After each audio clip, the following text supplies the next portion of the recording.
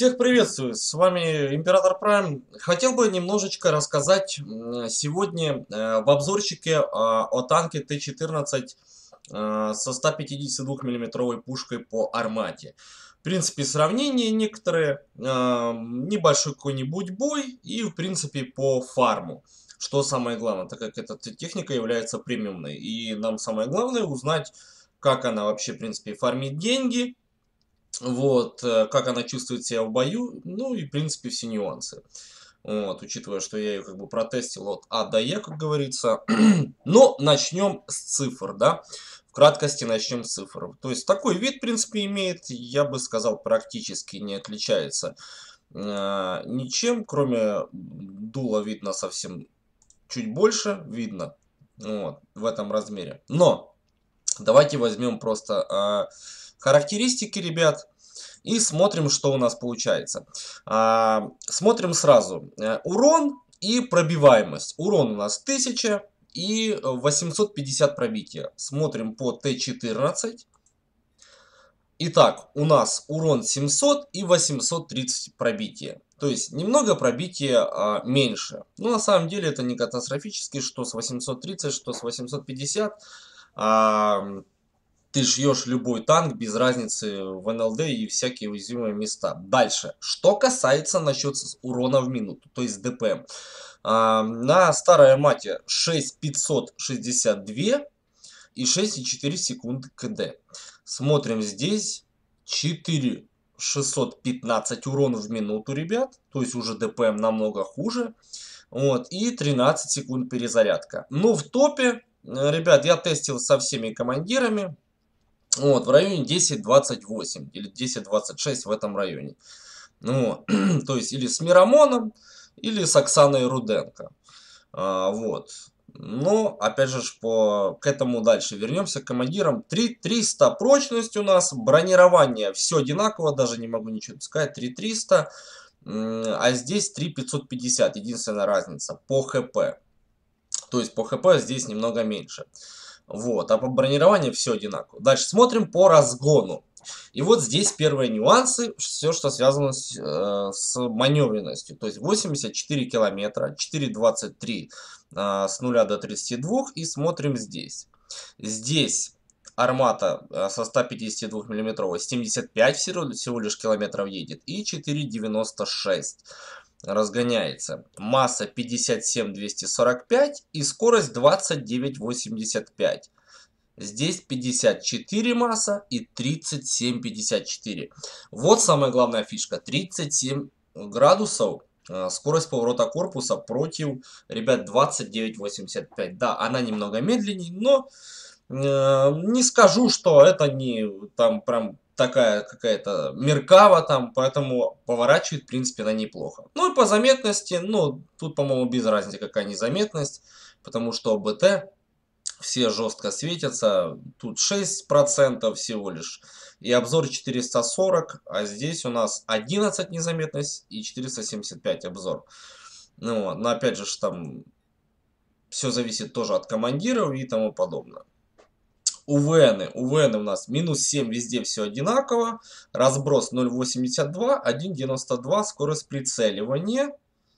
Ну вот, здесь 0.97, 2.3 прицельный и 39 градусов скорость поворота башни против, ребят, 43.4. Ну, как бы вот так вот, что тут скажешь. По ТТХ немножечко она хуже. Но скажу, что и всех командиров, которые есть, ребят, вот, которая существует. Э, самый топ это, э, конечно же, Александр Кортес. Ну, просто лупит безбожно, как говорится. Очень сильно она лупит. вот. Это арматура. Поэтому я на ней э, и посадил Александра Кортеза. Потому что с Александром Кортезом она выдает 1100, ребят. На 100 хп больше. Поэтому, не знаю, принципе, поехали, посмотрим, что, как и все. Поехали в рандом, ребят. Итак, ребят, э, рассмотрим один из э, боев, на что, в принципе, способна армата, ну, как бы, в бою, да. Оценим ситуацию. Я во взводе, ребят. А, вот, поэтому э, мы вдвоем вот с Пинсвином катим на двоих 152 миллиметровых арматках, ребятки. Ну и что, в принципе, будем рассматривать. Итак, э, часто на этой карте, конечно, неопытные игроки тонут, особенно что касается пару сфинксов хочу обратить внимание. Очень частенько до сих пор.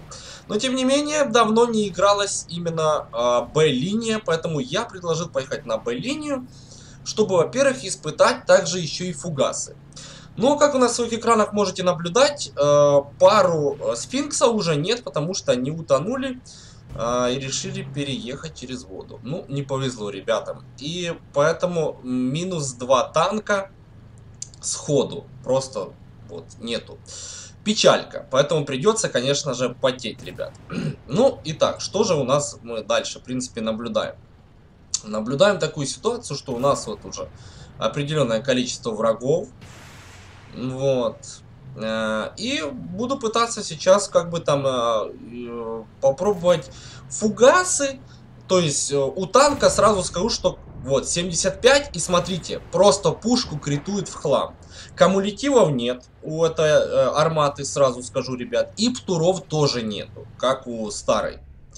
Опять же, ви, делаю выстрел и смотрите, просто один выстрел фугасом и выносится пушка.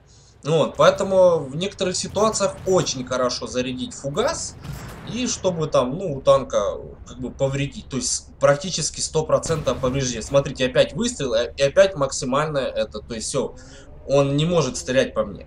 Поэтому тут немножечко я так наигрался с фугасами, потестировал фугасы, тем более вы сами видите, что на что способны фугасы, они просто, ну, вырубают, все, вырубают. Опять выстрел, смотрите, опять, опять, э, все, человек не может стрелять.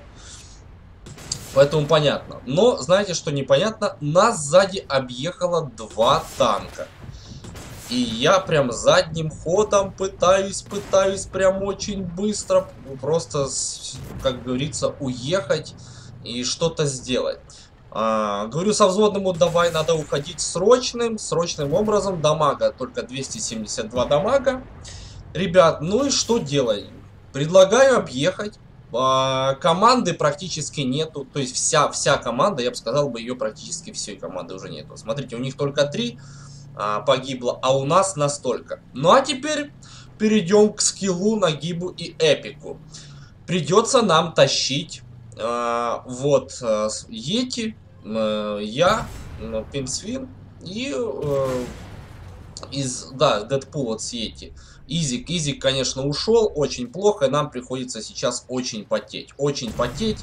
И мы вот, вот совместно э, с Дэдпулом даем плюху. А тут заходит Абрам сзади. Ну, просто трэш, ребят. Что тут скажем? И мы начинаем просто со своими пушками уничтожать. Смотрите, как у них команда. Сзади еще двое. Это, это просто катастрофа. Даже непонятно, что и как делать. Я смотрю, оцениваю сзади, спереди. Тут впереди два фуловых. И даю плюшечку арматке. Вот как бы вот так вот. И также и чекаю задний, сзади, сзади, чтобы не заехали впереди, сзади, впереди, сзади. Постоянная вот такая ситуация, ребят. И уже армата, которая была фуловая, ее уже нету. Вот. Дэдпул занял позицию, прикрывает мне спину. Ребят, а я пытаюсь с этим пацаном, короче, разобраться. Ну а как тут? Выцеливаю и даю на 1100. И понемножечку этот агрессор АВ превращается а, в маленького безобидного зайчика. Вот. И что же, 6300 дамага. Даю еще, ой, извиняюсь, 7400 дамага. И уже пол команды, практически, даже больше половины команды, ребят, мы перешатали. То есть я, Дэдпул, можно сказать, один из подписчиков, кстати, и вот Пинсвин, который приехал на помощь. И добираем, добираем, добираем. Ну, ну, выстрел, три шестерочки. Просто супер. И смотрите, что остается. Мы как были живы, так и, так и остаемся. Но сзади заходят еще. Еще враги. 8000 дамага. Выцеливаю. 926 даю плюху. Уже, ну, просто нереально. Если бы 9000 дамага.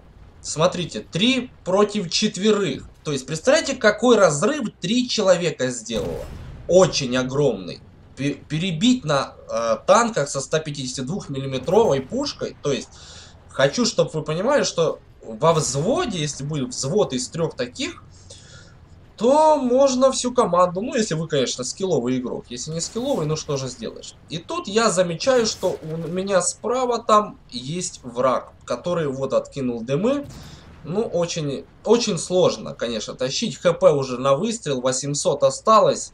Ребят, 2, 2 на 2 тянули как могли, конечно. Но если бы еще пару сфинксов не утонуло в начале, то, я не знаю, было прям победа была очень классная. Но, тем не менее, сзади, сзади уже надо было шота добирать, но мы... Я заметил, что к 640-му там, 640 с кем-то бодался. Но, тем не менее, а, поражение, ну, опять же, здесь именно бой показан э, не на то, что победа там, да, похвастаться и сказать, что вот типа победа. Нет, а именно показано то, что э, во взводе э, можно хорошо тащить. Можно также хорошо фармить, об этом тоже сейчас мы перейдем. И помимо всего этого, ребят, вот реально, помимо всего этого, я считаю, что бой просто вы видели, насколько, то есть нас было и сколько их было. Знаете что, короче, э, сейчас посмотрим по этому. По победам, я сейчас просто пройдусь по победам и покажу, в принципе, по фарму, ребят. Интересную тему. так, а сейчас, ну, к примеру, вот этот бой, который был э, вот, поражением, да, давайте посмотрим его. Итак, что же тут у нас получилось? То есть 248 тысяч получил, но это же при проигрыше, сами понимаете. При победе, но я тут, насколько я знаю, играл, по-моему, без према вообще. То есть прем аккаунт не активирован вообще был. Премиум аккаунт не активирован и ни одного буста не было, просто ноль. И я получил, получил бы 373 тысячи, ребят. вот. А, так, давайте теперь, а, что тут у нас? По команде, да? А, ну, по команде, в принципе, вот видно, да, 7500. Вот, эти, ну, то есть, вот мы втроем, в принципе, тащили. Обидно, что Изика убили. Так бы могли бы вытащить неплохо. Ну, вот так вот. Но помимо этого, ребят, также мы рассмотрим еще, я тестировал в PvE. А, PvE, ну, то есть, давайте, к примеру, вот 20 тысяч дамага, смотрим, просто 20 тысяч дамага.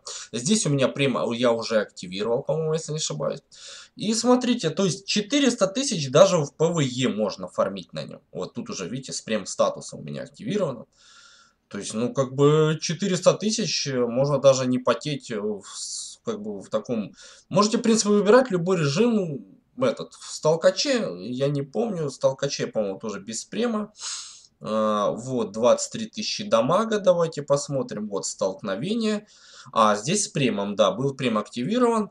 А, 23 600 а, и 560 тысяч.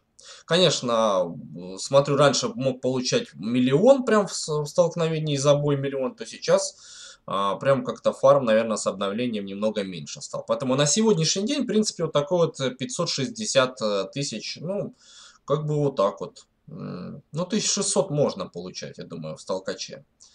В принципе, в среднем, скажем так, 400 э, тысяч точно вы будете э, получать, ребят.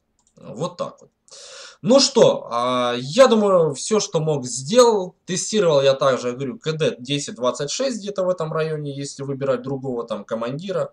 То есть, э, или э, Оксана Руденко, ребят. Я тестировал, э, гонял и на Оксане Руденко, и на Хуан Карлосе Мирамоне, так как там сведение быстрее, там перезарядочка, все дела. Но опять же, самым эффективным оказался Александр Кортес. Ну что тут скажешь, вот так вот. ну, а на этом, ребят, все. С вами был Император Прайм. Если понравилось, подписываемся на канал. Думаю, максимально показал и по фугасам, и по всем снарядам. Все, что только возможно. Опять же, по снарядам говорю, что нету ни кумулятивов, нету ничего. Есть фугасы, есть бопсы. Все, с 850 пробитием. Без кортеза бьет тысячу тысячу, короче, вот так вот, ребят. Поэтому, как смотрите, для фарма уже определяйтесь вы, нужен вам танк а, брать ее в аренду там на 30 дней, на 3 дня а, и все остальное. Тем более, используя лут, лут ребят. Новый магазин, в котором можно, в принципе, зайти там и посмотреть и арендовать у кого-то арматку, если кто-то там э, ее отдает. Ну что, ребят, на этом все. Пока. Да пребудет с вами сила. Удачи на полях сражения. С вами был Император Прайм. Пока-пока-пока.